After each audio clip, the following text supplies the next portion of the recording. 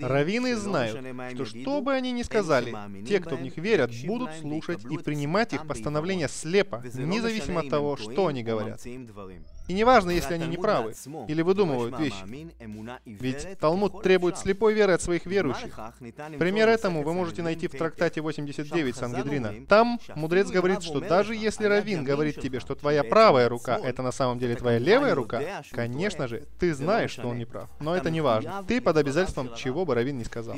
Если Равин говорит, тебе есть что-то, что Бог запретил тебе, или убить человека, который, как ты знаешь, невиновен, даже тогда ты под обязательством делать то, что приказывает тебе Равин.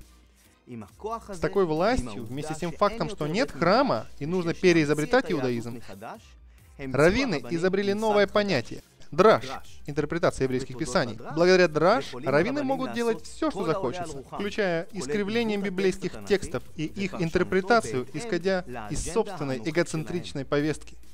В книге Исход 34.27 Бог говорит Моисею, «Напиши себе слова сии, ибо в сих словах я заключаю завет с тобой и с Израилем». Равины, которым нужно было как-то обосновать, прикрыть свое новое изобретение, устный закон, изобретают новый драж, говоря, что термин «ибо в сих» исходит слово «уста», и поэтому это доказывает, что Бог дал Моисею устный закон.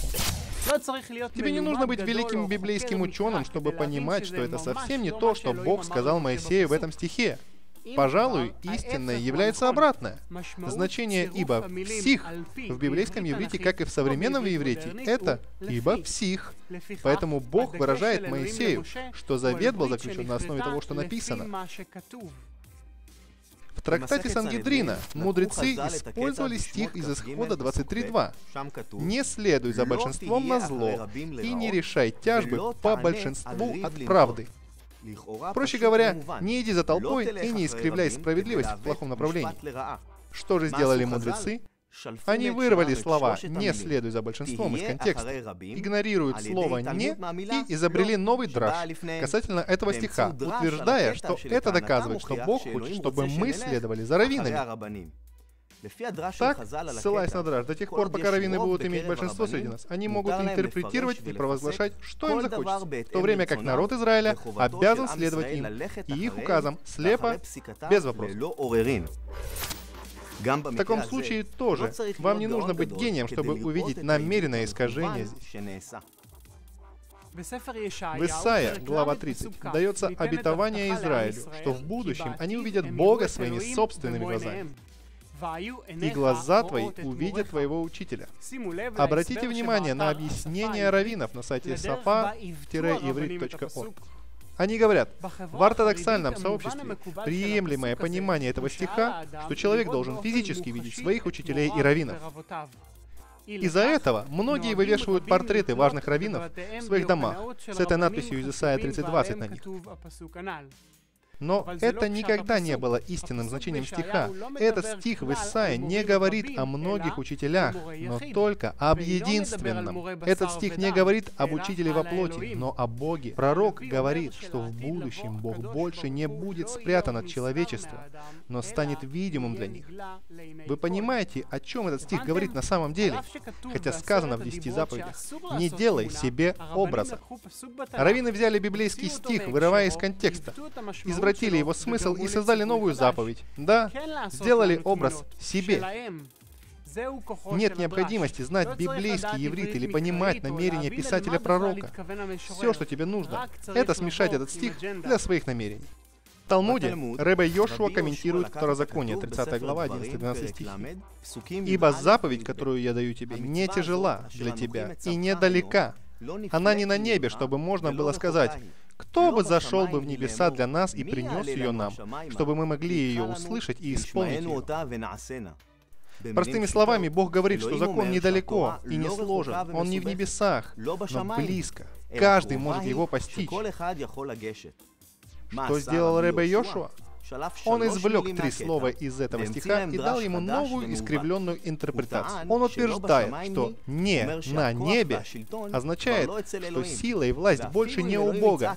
И даже если Бог закричит своим голосом с небес, он больше не власть и авторитет. Вместо него теперь раввины. Вот как Талмуд выкладывает. Рэбе Йошуа встал на свои ноги и сказал, «Тора не на небесах. Мы больше не принимаем в расчет голоса с неба, поскольку Бог дал уже Тору на горе Синай».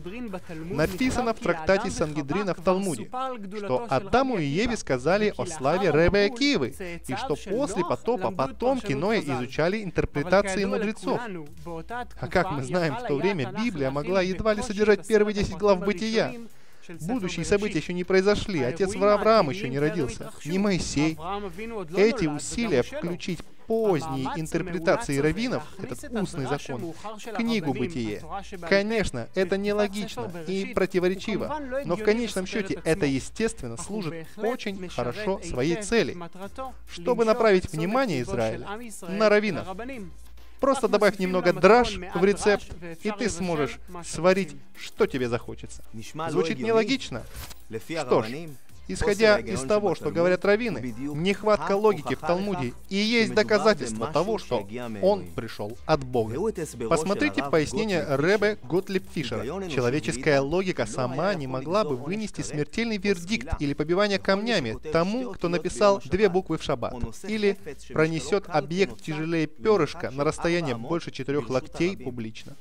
Без традиции, вдохновленной Богом, человеческий рассудок бы посчитал, что только тяжелый и утомляющий физический труд, как перенесение камней или рубка древесины, или любой иной вид тяжелого труда, мог бы рассматриваться как запрещенный в шаббат.